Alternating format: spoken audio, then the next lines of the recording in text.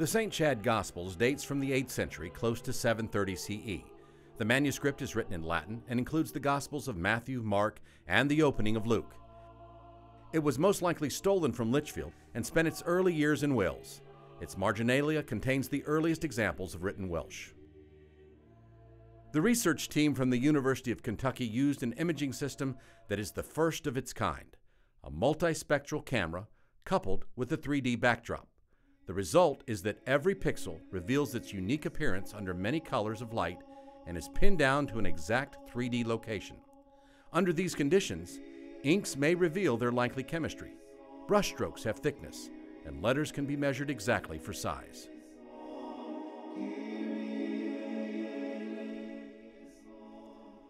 The St. Chad Gospels, one of the most precious manuscripts in England, is part of the library collection at Lichfield Cathedral located outside of Birmingham, England. The St. Chad Gospels returned to Lichfield in the 10th century and has resided there since, except for a brief period during the English Civil War. The manuscript has been rebound and restored and is currently on display. But deterioration is inevitable. This makes the imaging work done by the research team especially crucial.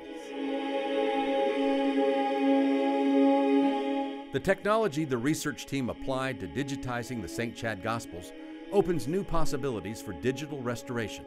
As well, the forward thinking access agreement between Lichfield Cathedral and the University of Kentucky opens new possibilities for international scholarship.